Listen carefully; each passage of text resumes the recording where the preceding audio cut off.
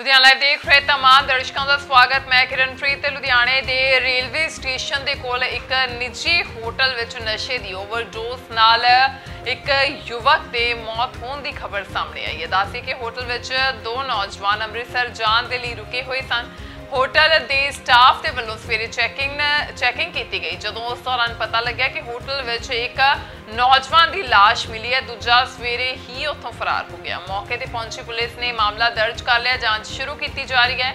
ਦੋਵੇਂ ਯੁਵਕ ਹੈ, ਜਿਹੜਾ ਪਿੰਡ ਕੁੰਮ ਕਲਾ ਹੈ, ਜਿਹੜਾ ਲੁਧਿਆਣੇ ਦਾ, ਉੱਥੋਂ ਦੇ ਹੀ ਰਹਿਣ ਵਾਲੇ ਸਨ। ਇਸ ਮਾਮਲੇ ਦੇ ਵਿੱਚ ਪੁਲਿਸ ਜਾਂਚ ਪੜਤਾਲ ਕਰ ਰਹੀ ਹੈ। ਸੀਸੀਟੀਵੀ ਫੁਟੇਜ ਵੀ ਖੰਗਾਲੀ ਜਾ ਰਹੀ ਹੈ ਤੇ ਹਰ ਐਂਗਲ ਤੋਂ ਇਸ ਮਾਮਲੇ ਦੀ ਇਸ ਮ੍ਰਿਤਕ ਦੇਹ ਦੀ ਹੈ ਜਿਹੜੀ ਜਾਂਚ ਪੜਤਾਲ ਕੀਤੀ ਜਾ ਰਹੀ ਹੈ ਹੋਰ ਅਪਡੇਟ ਲੈ ਕੇ ਰੂਬਰੂ ਹੋਵਾਂਗੇ ਵੇਖਦੇ ਰਹੋ ਲੁਧਿਆਣਾ ਲਾਈਵ कल दो लड़के शाम को चार बज के पाँच मिनट पे आए वो कहते हमें कमरा दे दो हम दो बंदे हैं सुबह हमने ट्रेन पकड़ के अमृतसर तक जाना है तो मैंने उनको रूम दे दिया तो बाद में वो रूम लिया रूम में चले गए बैठे रहे तो, तो बाद में वो नौ बजे के लिए बाहर भी गए खाना पीना खाने के लिए तो मैं ग्यारह बजे तक यहाँ पर था तब तक तो कोई सब ठीक था। अब ये नहीं पता सर मेरे को नशा किया कि नहीं कि बाहर से बाहर चले गए थे बाहर से आए ऊपर जाके बैठ गए। तो मैं सुबह ड्यूटी पे आया दस बजे। तो मैंने बारह बजे कमरे चेक किए जो खाली हुए सारे। तो मैंने लड़के को बोला कि ये कमरे को यहाँ से पहले फ़ोन किया मैंने। अब वो फ़ोन नहीं चुक रहे थे। तो मैंने फ़ोन किया लड़के को भेजा। तो लड़का कहता है जी गेट खुला है पर कस्टमर सो रहा है। है। तो उसी टाइम मैं गया रूम में मैंने देखा फिर मैं नीचे आ गया। उसके बाद मैंने अपने सर को फ़ोन किया। फिर मेरे सर कहीं बिज़ी थे काम पे गए हुए थे। तो फिर वो सर आए फिर सर ने आगे जाके कंप्लेंट को एक एक सौ बारह नंबर पे कंप्लेंट करा दी। पुलिस आई थी? कोई कुछ नहीं। पुलिस आई है पूरे पुलिस आई है? हाँ जी। उनके हाथ पे कोई इंजेक्शन लगा हुआ था? कुछ ऐसा था निशान?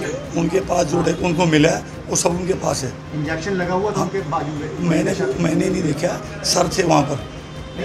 हाँ तीन तीन इंजेक्शन तीन इंजेक्शन है बाकी उनका सामान उनके पुलिस के साथ में उनका जो बैग है उनसे कपड़े बरामद हुए तीन इंजेक्शन हाँ जी हाँ जी उनके हाथ पे कहीं ल- लगे हुए का निशान था कोई ऐसा था देखने एक को? हाथ में यहाँ साइड में था जी ਆਈਡੀ ਪ੍ਰੂਫ ਮੁਤਾਬਕ ਇਹ ਵਿਅਕਤੀ ਅਰਸ਼ਦੀਪ ਸਿੰਘ ਸਨ of ਪਰਮਿੰਦਰ ਸਿੰਘ ਵਾਸੀ ਪਿੰਡ ਕੂੰਕਲਾਂ ਜ਼ਿਲ੍ਹਾ ਲੁਧਿਆਣਾ ਦਾ ਸੀ ਜਿਸ ਦੇ ਨਾਲ ਇੱਕ ਹੋਰ ਨਾਮਲੂਮ ਵਿਅਕਤੀ ਸੀ ਆਏ ਆ ਕੇ ਕਮਰਾ ਲਿਆ ਉਸ ਤੋਂ ਬਾਅਦ ਸਵੇਰ ਜਦੋਂ ਇਹਨਾਂ ਦੇ ਹੋਟਲ ਵਾਲਿਆਂ ਨੇ ਚੈੱਕ ਆਊਟ ਲਈ। ਉਹਨਾਂ ਦੇ ਰੂਮ 'ਚ ਫੋਨ ਕੀਤਾ। ਉਹਨਾਂ ਨੇ ਫੋਨ ਅਟੈਂਡ ਨਹੀਂ ਕੀਤਾ। ਜਦੋਂ ਉਹਨਾਂ ਜਾ ਕੇ ਦੇਖਿਆ ਤਾਂ ਉਹ ਇੱਕ ਵਿਅਕਤੀ ਜ- ਸੀਗਾ ਅਰਸ਼ਦੀਪ ਨਾਂ ਦਾ ਉਹ ਬੈੱਡ ਤੇ ਡੈੱਡ ਪਿਆ ਸੀ ਜਿਹਦੇ ਮੂੰਹ ਦੇ ਵਿੱਚੋਂ ਬਲੱਡ ਨਿਕਲ ਰਿਹਾ ਸੀਗਾ। ਸਰ ਇਹ ਹੁਣ ਤੱਕ ਵੀ ਇਨਵੈਸਟੀਗੇਸ਼ਨ ਕੀ ਨਿਕਲ ਕੇ ਸਾਹਮਣੇ ਆਇਆ ਕਿ ਉਹ ਕੋਈ ਓਵਰਡੋਜ਼ ਸੀ ਕੋਈ ਨਸ਼ੇ ਦੇ ਨਾਲ ਮਰਿਆ ਵਾ ਜਾਂ ਅੱਜ ਜਾਂਚ ਕੀਤੀ ਜਾ ਰਹੀ ਸੀ? ਨਹੀਂ ਇਸ ਦੇ ਸੰਬੰਧ ਸਾਡੀ ਤਫਤੀਸ਼ ਜਿਹੜੀ ਜਾਰੀ ਆ ਮੁਕੱਦਮਾ ਅਸੀਂ ਦਰਜ ਕਰਦਾ ਤਾਂ ਡੈੱਡ ਬੋਡੀ ਜਿਹੜੀ ਸਿਵਲ ਹਸਪਤਾਲ ਭੇਜ ਦਿੱਤੀ ਆ। ਜੋ ਵੀ ਤਫਤੀਸ਼ ਦੌਰਾਨ ਸਾਹਮਣੇ ਆਇਆ, ਉਸ ਆਧਾਰ ਤੇ ਜਿਹੜੀ ਅਗਲੀ ਜਿਹੜੀ ਕਾਰਵਾਈ ਕੀਤੀ ਜਾਊਗੀ।